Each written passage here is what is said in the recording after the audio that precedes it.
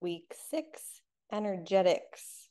This is one of my, I know every week I'm like, this is one of my favorite topics, but seriously, all of these topics are just epic and all of my favorites. But energetics is really truly uh, the most important factor in everything that we've talked about so far. So, throughout this presentation, you are going to understand energetics as our primary avenue and ways of communication um, understand how to intentionally influence the energetic dynamic and learn ways to positively influence those energetics. Verbal spoken language is actually our second language. So, you taking in what I'm saying right now, some of you are from a different country. So, English might even be your third language.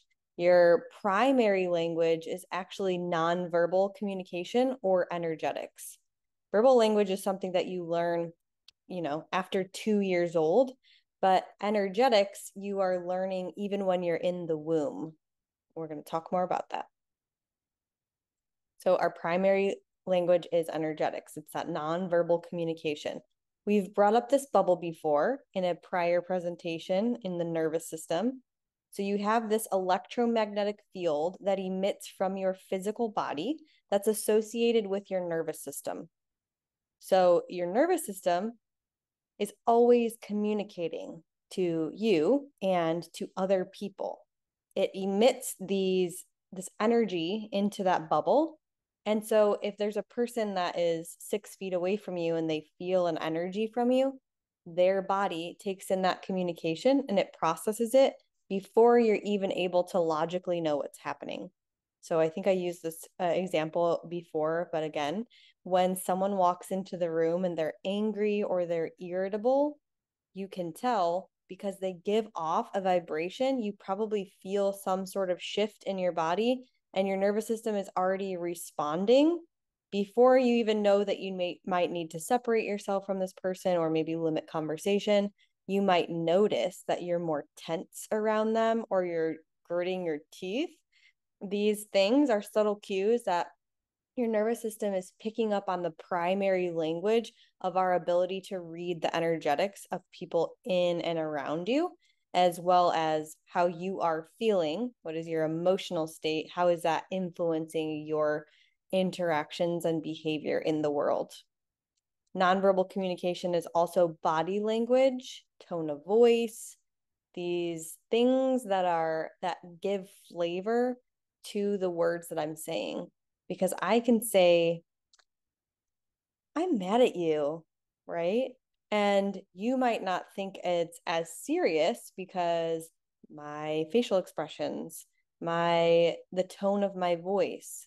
So the language that we're actually using, the spoken word often causes conflict because we're trying to give a way to communicate the feelings that we're having inside. And if we don't explore the feelings that we're having inside and be able to contextualize them, give them more um, more tangible ways of another person to be able to understand how we're trying to communicate that to the person. No wonder there's so much conflict when we try to have just verbal conversations with people. So when I work with people one on one, a big part of what we do is getting into the energetics of first and foremost how you feel, what sort of vibe you are emitting into the environment, and how other people are influencing you, and vice versa, how you're influencing them. How energetics communicate. So, what the word that is actually being emitted and being read by your nervous system is a process called neuroception. It's your sixth sense you have more than five senses. Neuroception is your ability of your nervous system to constantly scan the environment. So it's always on alert. It's scanning the environment for cues of safety and danger and threat, even before we can consciously perceive them. Neuroception helps us to assess whether we are safe or potentially in a harmful situation, and it influences our emotional and behavioral responses. So this is again, as soon as you feel a very subtle shift in the um, in the vibe of a room this is especially true when you have like little kids that you're protecting. Your you know moms are generally more sensitive to the energies that their children are around because they have to worry about the safety of their kids. So they're more high on alert they're higher on alert because they have to be mindful of is this situation safe for my child this is huge for people who are also experiencing difficulties in their relationship and they have kids because there's a correlation between higher stress, higher risk, right? And your ability to want to or desire sex and intimacy because your nervous system is just on high alert. It's hypersensitive to your environment. So, again, in one on one work with people, I really help them to be able to create safety in their nervous system to find grounding techniques that you can use to notice okay i'm feeling this type of way.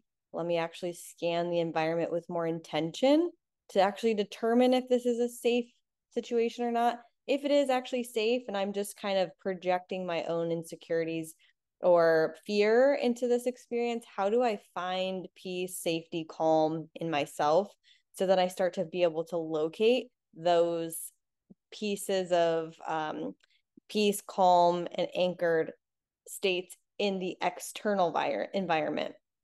Because again, whatever you're feeling in here is going to be projected out into your external environment, and you will start to locate all the opportunities to be more fearful of your environment. But on the opposite side, if you're able to ground yourself, feel peaceful and anchored in yourself, then you'll start to be projected those, those things will start to be projected on the outside of you and you'll realize all of the resources that you have in your immediate environment that actually are peaceful and safe so self-regulation happening um, in real time when we take a deep dive at what are the associations that you're making with your environment how does it influence past experiences and how do we rewire that behavior so it's more in alignment with having a healthy and resilient reaction to stress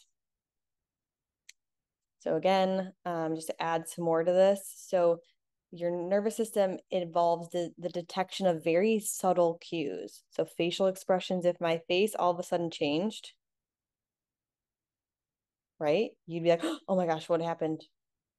your children are also really really good at good at reading facial expressions there's been studies that show a mom like really happy in how the baby's responding and all of a sudden she goes very flat affect and the baby freaks out so facial expressions really really influence others around you vocal tone again if i said i'm really mad at you right and I was actually like really mad, you'd be like, that doesn't match. I don't know if she's actually mad or she's like just kidding.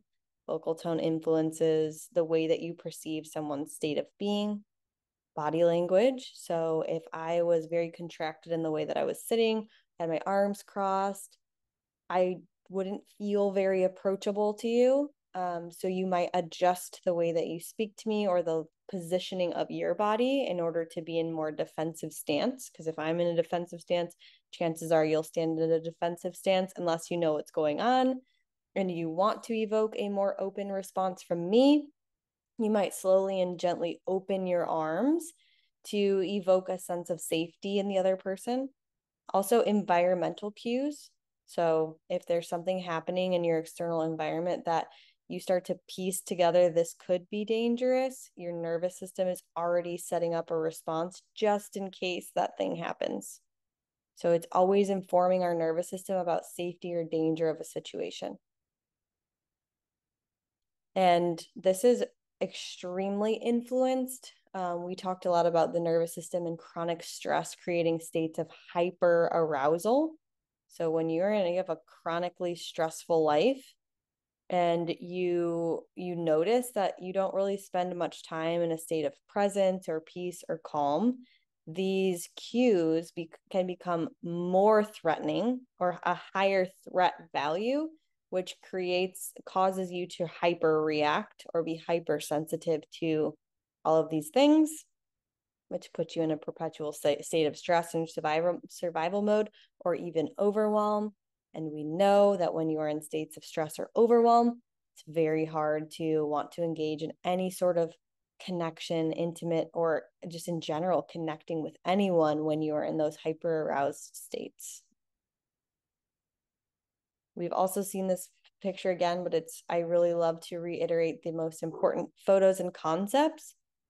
When you are in a fear based emotional state, your torus shrinks for survival. It gets smaller and starts to pull energy from other people. This is when you start to feel like an energy vampire. Sometimes this happens in relationships where the wife is like living in fear because so many different things are happening and she her system has become very dysregulated and maybe she starts to pull lots of energy from the husband who is like oblivious to the things that are happening um, because the communication is just not there to be able to describe what's going on in each of your experience. They're like oh my gosh i'm so fatigued around this person. And this is not just relationships but for the sake of talking about intimacy um, it could be with a friend or a coworker people who are in these fear-based survival mode states really start to suck energy from people who are living in higher vibrational states so the people on the left would be very hypersensitive to any stimuli, and they're also really trying to pull energy to sustain life and to help find safety. Another thing that happens when our nervous system is hyper aroused to stimuli from our environment, or we're hypersensitive, or we feel fearful lots of times, our nervous system beca- can become out of sync so on the left hand side there, you see what an out of sync, incoherent, or out of tune instrument that is our body starts to turn into. So it creates, it sends out these messages that are really confusing, really conflicting, um, maybe very emotional, or just you're like, gosh, their behavior doesn't really make much sense. It's like up and down and up and down. And this is the result of lots of sensitivity really influencing the energetics and the energetic vibrational coherence of that person's system. On the other hand, when you do work on energetics, you understand how your emotional state affects your nervous system, which affects your vibration, and you're really in tune with that concept. And you work to regulate your system to be able to experience greater emotional states, higher vibrational emotional states, it helps to create harmony in your body system. So you start to become in tune, in sync, or coherent. The more coherent you feel, the better you'll feel to your partner. The more incoherent, out of sync, chaotic that you feel, it starts to send really, uh, really it starts to send um, information out into the field that is very chaotic, disorganized, confusing. So your body is constantly responding with you, you are constantly responding with your body before your logical mind can attempt to make sense of the situation. So your body is sending out these signals and then your mind is having to say like what is going on there. It's a subconscious felt experience so, getting comfortable or familiar with the sensation of your body will help you to better navigate energetics because, again, it's all starting from the body. The body is experiencing an emotion, sends it out into the field, which is then perceived by other people and causes them to be influenced by your emotional state. So, okay, now we're at the how ways to really get into like how do I influence energetics? So first is assess what vibe or energy you're emitting into the field. You can use this chart. Try to move myself out of the way. You never know where I'm at. Um, you can use this chart. If you can identify where you are in the current moment right now, like what emotion do you mostly resonate with? The ones on the top are more towards a love vibration. There are the torus expanding out where it's more coherent. You feel positive to others around you. And as soon as you drop under boredom, you start to, your st- torus starts to shrink and you start to go into survival mode, out of sync, or an incoherent state. So you can use this spiral to determine what is my influence on others as far as my energy field and my electromagnetic field. Number two is to adjust your vibe and your body language. All of these body languages, even just seeing them, might cause you to tense up or feel anxious because they're not um, evoking states of, yes, I want to connect. Yes, I want to navigate this conflict together. Yes, I am seeking connection and comfort, right? They're all kind of combative or conflicting, um, repelling any sort of connection in this one where they're sitting you know one is sitting uh, forward the other one is sitting away from them this other one they're cross crossing their arms over their body so these are all states that your nervous system would then go ahead and read and say well they must be mad so i need to approach them with more defense uh, defense um, or i might need to brace in order to be prepared for the impact of what they're about to tell me and as soon as you do that you lose sight uh, of being resourceful to all the different possibilities of what could potentially happen in this interaction. And it just honestly escalates lots of conflict. These are all ways that if you are feeling like I need to check in with my body language, what's a good way that I can be more open and receptive and want, seeking um, more connection with my partner. This bottom one, I know their arms are crossed, but they're making eye contact and they're actually laying down. And when you lay on the ground and try to talk about something, it's you can't help but laugh. And so as soon as you laugh, you make light of it, then you can start to say like, okay, this not is not that huge of a deal. Let's try to navigate through this with a little bit more love and humor. The top one is just simply just like touching your partner and being near them um, and then the one on the right, actually like holding hands, being heart to heart in front of each other, looking at each other's eyes with love. Um, those are all ways that you can really intentionally use body language to help you in states of um, more stress and and conflict, or or just to connect with them in a more intimate way. This is another graph that just shows when you energetics, the more that you are your energy or your emotional state is more towards the left. So you have that frustrated energy, resentful energy, apathy, sadness, anger, anxiety. When you're experiencing those energetic states, it creates a negative vibration and you move towards depletion of your physical health. This is the HeartMath Institute. They do lots of research on how heart rate variability is affected by your emotional state. So when you are in um, energetic emotional states on the left, you're moving more towards survival mode, you're moving more towards incoherence, more illness and disease. On the right hand side, you can see, see that uh, waveform is more organized, it's more uniform, it's more incoherent, it's more coherent, excuse me, harmonic and in sync. You're moving towards love and appreciation, and that's what vibrates out into the field.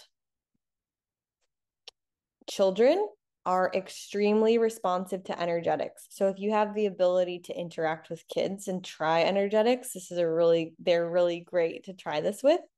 So you obviously don't want to stay in negative states for too long because they will be negatively affected by your negative state, but you can fo- focus on how is my positive um, emotional state affecting the situation. You'll also know if you come home from work and you have are having a bad day, just pay attention to what their behavior is like because you're sending out mixed signals to them, incoherent uh, signals to them, which can evoke anxiety. And then anxiety causes them to have more energy or be more disruptive or irritable. So just pay attention to how your specific mood affects them because they're super receptive to it. Also, animals are very uh, in tune with energetics. So they only speak energy. They will come near you or go away from you, depending on if they think that you're threatening or not. So you can practice like getting into an emotional state and it's just seeing how animals start to respond to you. I swear it's so funny every time I work with clients and they have pets, they end up starting to come onto the screen, onto the Zoom screen, because the people that I'm working with are starting to feel so good that these animals like just like want to be around them all the time. They're jumping up onto the screen, they're sitting next to them, they always make an appearance. So it's cool to see as the person changes how animals respond to them too. As a review, energetics are our primary language. Understanding energetics can help you navigate and influence the relationship dynamic. Energetics include nonverbal language, tone of voice, shifts in emotional states, and emotion environmental cues. Animals and children are the most responsive to energetics. And the last point I want to just reiterate is that when you when you notice that you energetically are in a state of survival mode, um, it you immediately turn off to intimacy and connection. So if you are in states, emotional states that are causing that incoherence, chances are you are very hypersensitive to the environment or to things that are happening and it's it's not your fault that you are, have low libido or that you're not seeking connection. It's just you're you're being influenced your nervous system's being influenced by those energetics and it's trying to keep you safe. And if it continues to be an issue you know where i'm at. This is what i love to do. So i'm always here to support and help you in whatever way feels good for you. Your homework is energetics exercise. So you're going to choose an emotional state that feels available to you. So you can look back on that spiral. Sit quietly and close your eyes. You can do this now while I'm kind of reading you through it. And you're going to think of a time where you felt that emotion. And think about that emotion in, in the center of your heart. And every time that you focus on it, it gets bigger and bigger and starts to fully embody your experience. You let yourself feel that emotion fully. So it takes up your whole body, out the top of your head, out the bottom of your feet, out your fingertips. And now you're just emanating with this emotion. And then you're going to become aware of how that infused emotion influences your interactions for the rest of the day. You might have to sit in that experience, that feeling of the emotion for a couple minutes just really tapping into, let's say, if you're doing peace, feeling what peace feels like, recalling a memory of when peace was really relevant in your life, letting it start at your heart and expand throughout your whole body, taking a couple of deep breaths and really, really feeling that emotion, tapping into it. And just be aware of how positive or negative the rest of your day is and the interactions that you have with others are. So that is your homework try it out. And I will see you next week for week seven.